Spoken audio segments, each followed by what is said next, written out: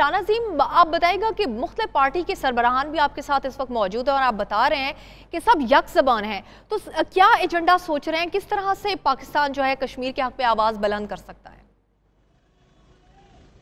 دیکھیں پاکستان الحمدللہ پہلے دن سے کشمیر کے حق میں آواز بلند کر رہا ہے اور آج یہ لاہور میں جو بہت بڑی ایک ریلی ہے، جسے آپ دیکھ رہی ہوں گی، میری حالت بھی آپ دیکھ رہی ہوں گی کہ کس طرح پسینے سے ہم شرابور ہیں کہ اتنی سخت گرمی میں اتنی زیادہ تعداد میں اگر کیمرہ مین دکھا سکے تو نظر آئے گا کہ ہزاروں کی تعداد میں لوگ موجود ہیں اور ہر سیاسی جماعت ہے۔ تو تمام سیاسی جماعت کے لوگوں کا، لیڈران کا ایک ہی کہنا ہے میری سب سے بات ہوئی ہے وہ کہتے ہیں کہ ہم چاہتے ہیں کہ کشمیر کو کشمیریوں کے حق خداریت ملے ان کی مرضی کے مطابق فیصلہ ہو۔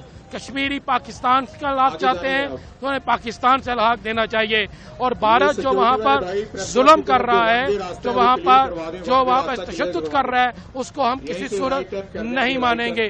یہاں پر اس وقت جو صورتحال پیدا ہو چکی ہے کہ اب تو لوگ یہ کہہ رہے ہیں کہ بزور طاقت کشمیریوں کی مدد کرنی ہوگی۔